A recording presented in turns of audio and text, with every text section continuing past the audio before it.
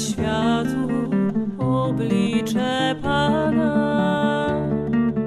Na krzak ognisty, na słup obłoku nie mogła ludzkość obrócić wzroku. Teraz dopiero łaska jej dana, aby widziała oblicze Pana.